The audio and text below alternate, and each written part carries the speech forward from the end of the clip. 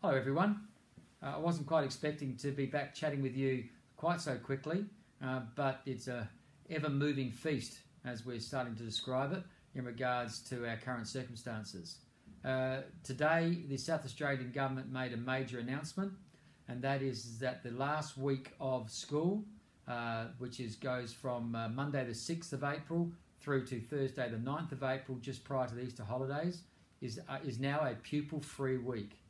Uh, if you recall, last night I announced that we were going to make the Thursday, the 9th of April, a pupil free day. Uh, the South Australian Government have now extended that for the whole week, and we will be complying with that. Uh, it makes sense for us to come in line with what pretty well every other South Australian school is going to do. So, what does that mean? Well, it means that all academic work, uh, in terms of academic provision by teaching staff will finish uh, at the end of the week prior to that. So for, for our Tyndale schools, that's week nine. Uh, week 10 will be a pupil free week. And uh, in one sense, this will give our staff more opportunity to work on the things that we have uh, discovered from today and uh, in terms of our testing and be able to be even better prepared for whatever may come in term two. However, I just want to give you a heads up that we will adjust week 10 or the that final week that's going to be a pupil free week uh, slightly. First is is that while it'll be a pupil free week, uh, those families who are involved with the emergency services, and that's already been listed by the South Australian and Australian governments as to what that uh, defines. If you are in one of those essential services and you are not able to provide um, alternative care for your children without having to stop working, which is what we do not want you to do, then we will provide an alternative program here at school on the Monday, the Tuesday, and the Wednesday. So please understand that while the Thursday will remain as I announced last night, that is a, just a pupil free day uh, where you will need to look at vacation care or an alternative uh, means of looking after your children, the Monday, the Tuesday, and the Wednesday, we will provide a program uh, for those emergency service families who have no other option, uh, who can't cannot find an alternative arrangement, and require their children to be at school while they are doing their very important job of looking after our communities. We will be open for you, and I'll talk to you a minute bit about what that's going to look like. Secondly, and this is going to have to be something that you're going to have to work out with either your sub school principal or your campus principal. If there are other families who have absolutely no other option of looking after their children on those three days, and this may actually put your employment at risk, then we will absolutely provide an opportunity for your children to be with us as well. However, we are going to ask all families uh, including those who are, who are involved in the essential services, that your first priority is try to find an alternative arrangement. If you can't, please contact us, let us know, and we will organise the program around the number of children that we have here. We don't want people uh, not being engaged in essential services, and we certainly don't want families uh, having to risk their ongoing employment and financial circumstances either. We want you to know that in this case we will absolutely look after you. In that regard, we would still say though that any student who is in year 10 or above, it would be our overall expectation that they don't need to be at school. Uh, they should be able to look after themselves as much as possible. However, we're not going to make that a blanket rule. And again, if you believe that your year 10, year 11, or year 12 student needs to be at school.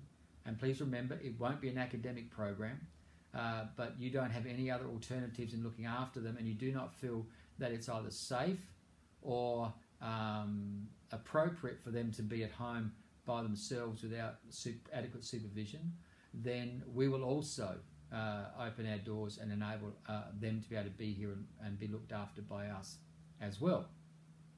So, that's the parameters about who should be turning up in week 10, uh, 6th to 9th of April. However, what's the program going to look like? Well, I want to make it very clear that it'll be a non academic care program. We will not be running classes, we will not be teaching, we will not be working with your children on their programs and their work. It, it will absolutely not be um, an academic program because we actually will want our staff to be best preparing themselves and getting themselves ready for next term. And the South Australian government have given us that window of opportunity to be able to do that.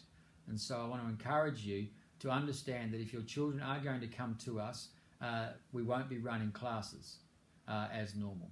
It'll be a non academic care program. So, what will it look like? Well, we will encourage you to send your children to school. If they come with a laptop with some of their schoolwork on it, they can do that, but we won't be supervising it or correcting them. They may want to come uh, to school with their iPads or their laptops, and you may want to put on it a school appropriate, age appropriate movie for them to watch. We'll look after them as well. You may want to send them with some board games. You may want to send them with a good book to read. You may want to send them to school with a soccer ball and a basketball and those sorts of things. We will look after them. But we won't be running programs uh, as such. So please understand you send your kids to us we will be providing a babysitting service to look after you, your children, while they're with us. We will run a few activities outside where they can get some fresh air uh, and make sure that they're eating their morning tea and their lunches and hydrating properly.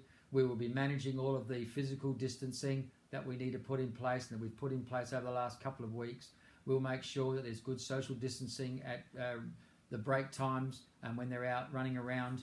But uh, overall, we will just look after your kids uh, while they're here, but please send as much as you can with them so that they can amuse themselves uh, while we will have uh, staff there looking after them. The vast majority of the staff uh, will be getting on with their with their work, and we will have a roster system where we look after your children, making sure that there is a, uh, a teaching person available should they be required.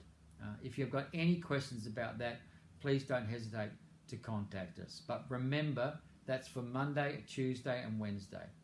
Thursday, uh, we really need to be locked down and working really hard on getting ready for next term. Uh, and so, Thursday, it is a pupil free day, and you'll need to find alternative arrangements outside of school. I hope that's clear. If it's not, I apologise. It's been a, a whirlwind of a few, couple of weeks, and we're doing the best we can. Please don't hesitate to contact us if you need any further uh, clarification or explanation around that. God bless. Uh, who knows what we're going to be announcing tomorrow? We are waiting on what's happening uh, out there in the rest of the world, but we're doing what we can on the basis of information that we've received. We're wishing you well. God bless. We'll be in touch soon. Thank you.